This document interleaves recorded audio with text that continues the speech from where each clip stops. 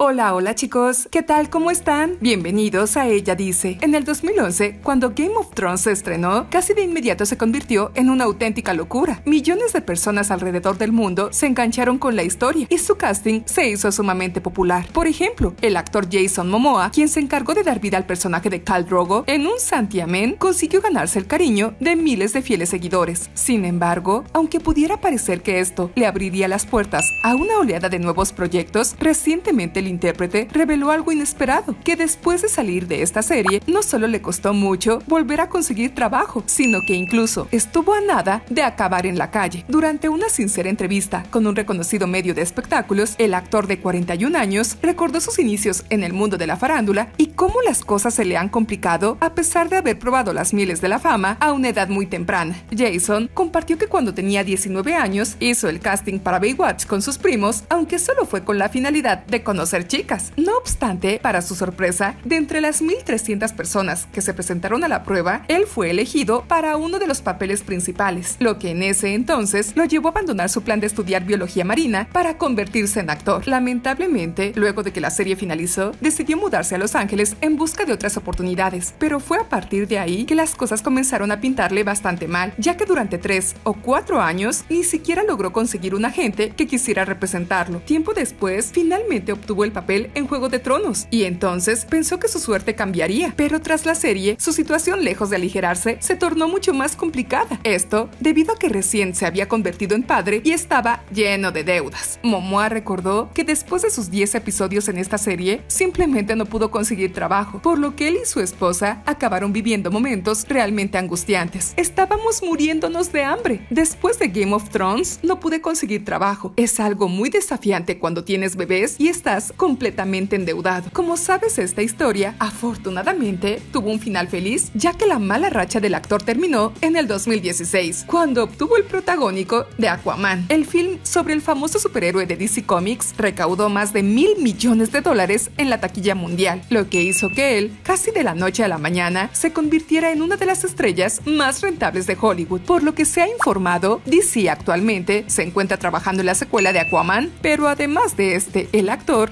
ya varios otros prometedores proyectos en puerta. El más próximo, Dune, la adaptación cinematográfica de una exitosa serie de novelas que si se llega a desarrollar tal y como en los libros, hará que Momoa tenga trabajo asegurado por un largo rato. Sin embargo, aunque hoy en día las cosas le pintan de maravilla, el intérprete no deja que la fama se le suba a la cabeza, pese a que hace poco, cuando vio el primer avance de Dawn, se sintió como un niño enloquecido al ver que su nombre aparecía en los créditos junto a los de actores de la talla de Josh Brolin y Javier Bardem. Esta no es la primera vez que Jason Momoa hace referencia a las consecuencias negativas que le trajo el haber participado en Juego de Tronos. Hace unos meses, en otra entrevista, compartió que tras haber dado vida a Khal Drogo, los directores de casting comenzaron a rechazarlo porque creían que no hablaba inglés y que solo era capaz de encarnar a guerreros fuertes y silenciosos. Qué padre que todo esto ha cambiado, ¿no lo crees? Oigan chicos, pero antes de despedirnos tenemos un anuncio súper importante que hacerles. Ella dice te invita a conocer Tu Cosmópolis, un canal lleno de datos curiosos, notitas de última hora y demás información extrema que sin duda te hará revolucionar tu cabeza. Si quieres saber más sobre él, te dejamos toda la información en la descripción del video. Recuerda, Tu Cosmópolis. Si te gustó nuestro video, compártelo, suscríbete y dale like. Yo soy Liz. Hasta la próxima.